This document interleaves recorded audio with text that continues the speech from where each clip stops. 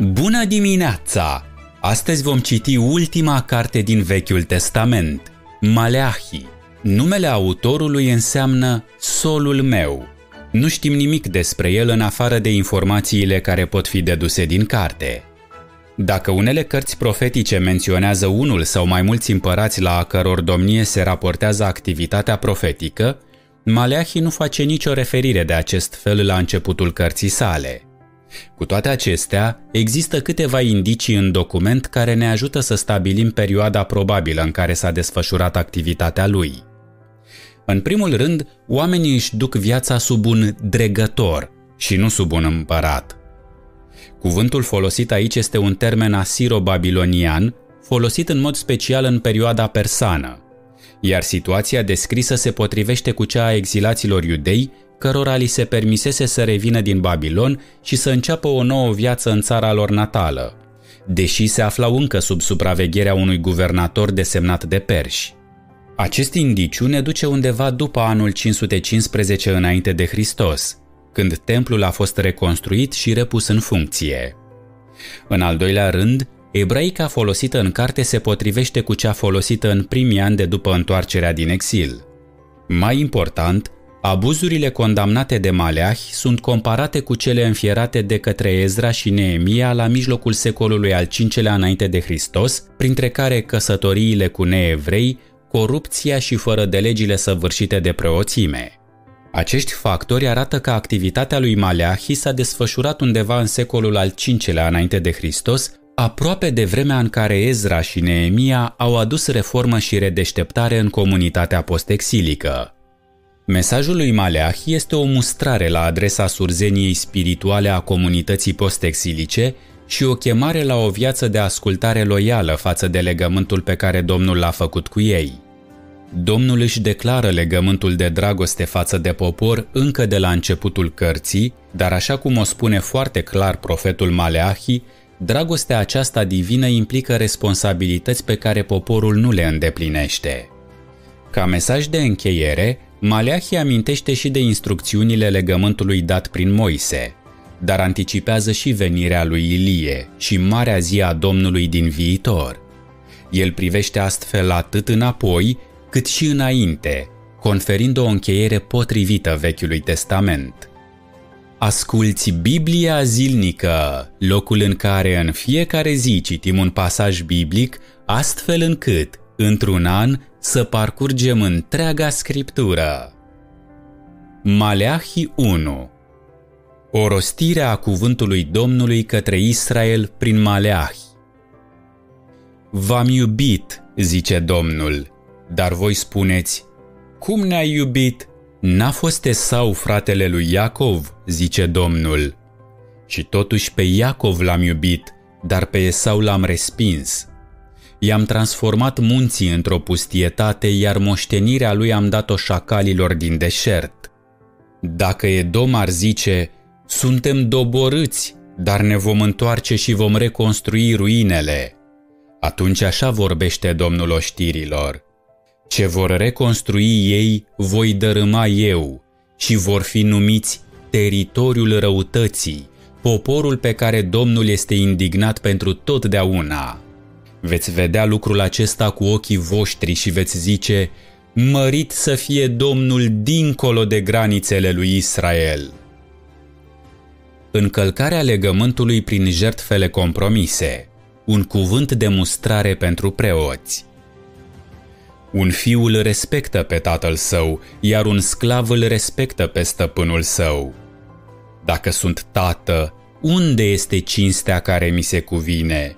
Și dacă sunt stăpân, unde este teama față de mine? Vă spune Domnul oștirilor vouă, preoților, care disprețuiți numele meu.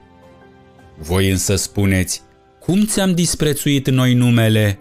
aducând pe altarul meu hrană pângărită. Dar voi spuneți, cum te-am pângărit? Spunând că masa Domnului este de disprețuit, în sensul că nu dădeau atenția cuvenită jertfei aduse pe altar. Când aduceți ca jertfă animale oarbe, nu este acesta un lucru rău? Iar când aduceți animale șchioape sau bolnave, nu este acesta un lucru rău? Încearcă să le aduci guvernatorului tău. Va fi el oare mulțumit de tine? Te va lua el în seamă? zice Domnul oștirilor. Și acum căutați fața lui Dumnezeu ca să-și arate bunăvoința față de voi. Vă va lua el în seamă de vreme ce mâinile voastre aduc astfel de daruri? zice Domnul oștirilor. O, de-ar închide careva dintre voi porțile templului ca să nu mai aprindeți degeaba focul pe altarul meu. Nu-mi găsesc nicio plăcere în voi, zice Domnul oștirilor, și nu voi accepta niciun dar de mâncare din mâinile voastre.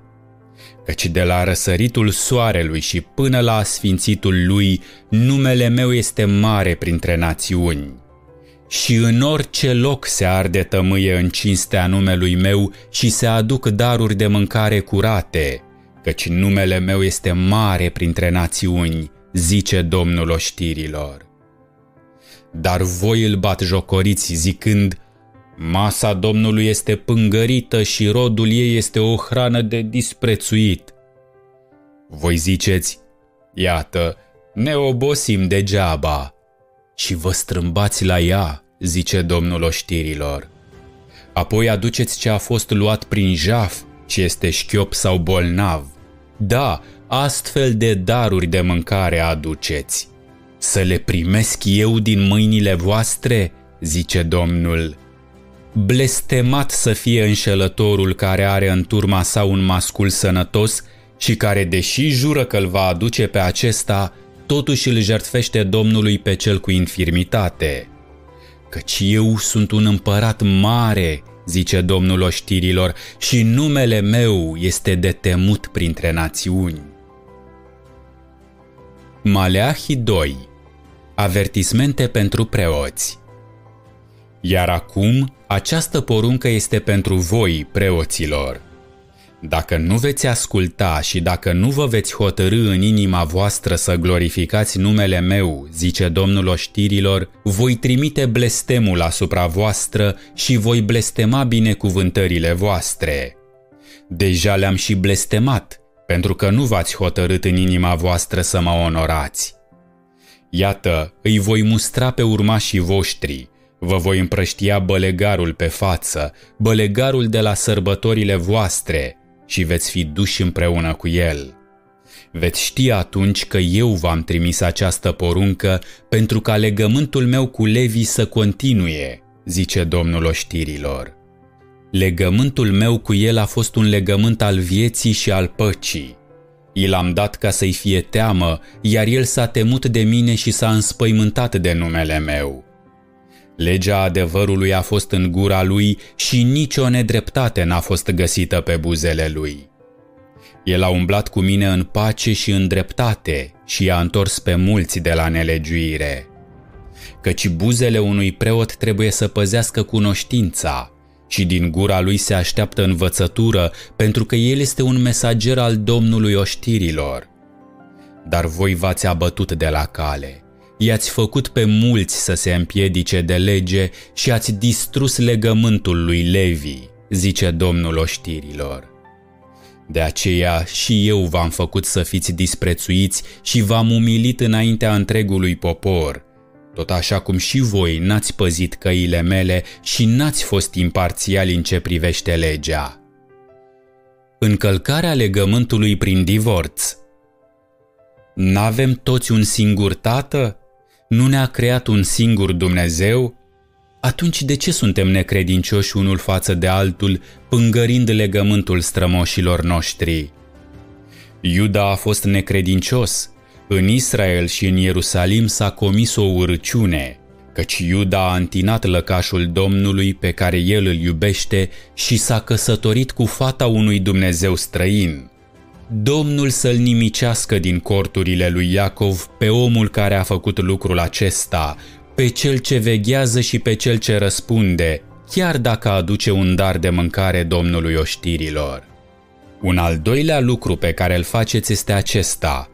Acoperiți altarul Domnului cu lacrimi, cu plânsete și cu gemete, pentru că El nu mai ține seama de darurile de mâncare și nu le mai primește cu plăcere din mâinile voastre. Și vă întrebați, de ce? Pentru că Domnul a fost martor între tine și soția tinereții tale, față de care ai fost necredincios, deși ea este consoarta ta, soția ta prin legământ. Nu i-a făcut el una? În trup și în duh sunt ai lui. De ce una? Pentru că el caută o sămânță dumnezeiască. Deci păziți-vă în duhul vostru și niciunul dintre voi să nu fie necredincios soției din tinerețea lui. Căci eu urăsc divorțul, zice Domnul Dumnezeul lui Israel, și pe cel ce își acoperă haina cu violență, zice Domnul oștirilor. Deci păziți-vă în duhul vostru și nu fiți necredincioși.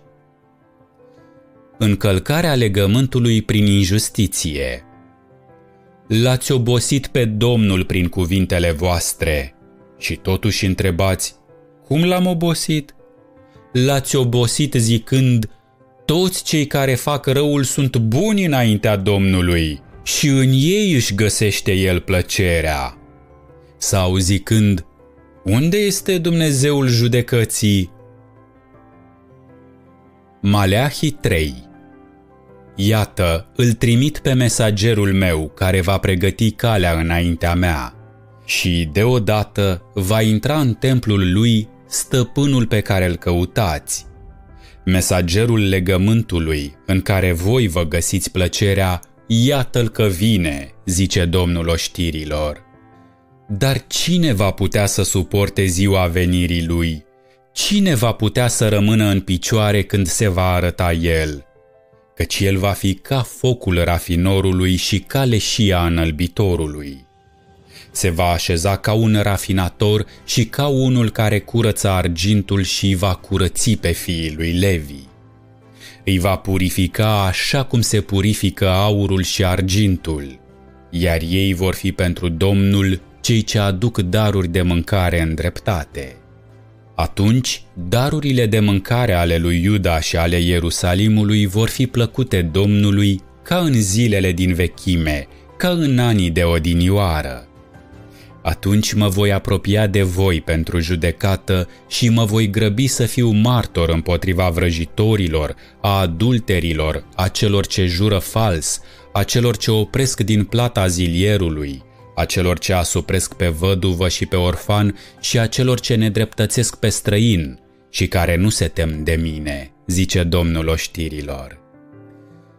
Încălcarea legământului prin reținerea zecimii Eu sunt Domnul, eu nu mă schimb, de aceea voi, fii ai lui Iacov, n-ați pierit. Încă din zilele strămoșilor voștri v-ați abătut de la hotărârile mele și nu le-ați păzit. Întoarceți-vă la mine și mă voi întoarce și eu la voi, zice Domnul oștirilor. Dar voi întrebați, cu ce să ne întoarcem? Se cuvine ca un om să-l jefuiască pe Dumnezeu? Și totuși voi mă jefuiți. Dar voi întrebați, cu ce te-am jefuit? Cu privire la zecime și la contribuții. Sunteți crunt blestemați, căci eu sunt cel pe care îl jefuiți voi, națiunea aceasta întreagă. Aduceți însă toată zecimea în vistierie, ca să fie hrană în templul meu. Puneți-mă astfel la încercare, zice Domnul oștirilor, și veți vedea dacă nu voi deschide pentru voi ferestrele cerurilor și dacă nu voi turna peste voi binecuvântare până nu veți mai avea loc unde să o țineți. O voi mustra pentru voi pe cea care devorează, ca să nu mai distrugă recolta pământului vostru.